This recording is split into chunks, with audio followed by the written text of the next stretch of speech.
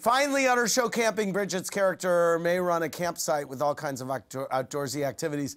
But since she's currently enrolled in Andy Cohen's Camp for Tipsy Adults, I thought tonight's extra- extracurricular activities could be a little more sensual.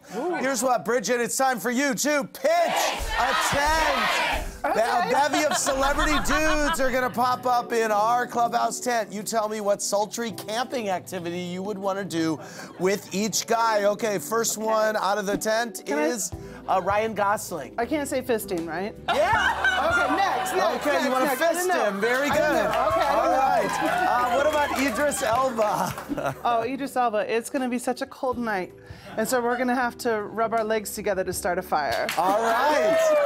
She said fisting about Ryan Gosling. I just want to make sure if, if the, I just want to make sure the closed captioning even got that too. Okay, next up, who's coming out of little Zac Efron? Oh, he's so tiny. So I'm gonna put him in my little pocket right here, and we're gonna go hiking, and he's gonna hike all over my Twin Peaks. All right. Okay. Uh, what about Chris Hemsworth? What are you gonna do with him? Oh yeah, he burns. Um, so I'm gonna take some aloe vera, and I'm gonna put that gel in soothing places where he needs to be soothed. He burns.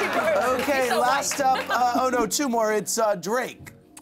Um, I'm gonna talk to Drake about. Um, look, he's got a lot of money. He's a musician.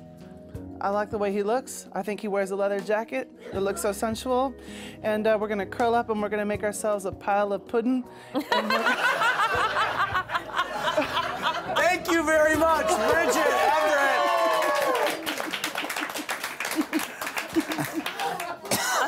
Bridget. We're a pile of pudding. I love it. Hoffman Jess wants to know if you think the New York Housewives Cabaret episode would have been different had you not stopped Dorinda on her way out. You played a featured role in the finale. Let me tell you what, God is good.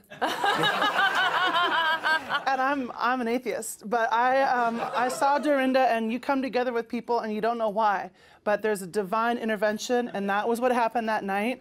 And um, I don't care about what have happened. I'm happy about what did happen. Coming up.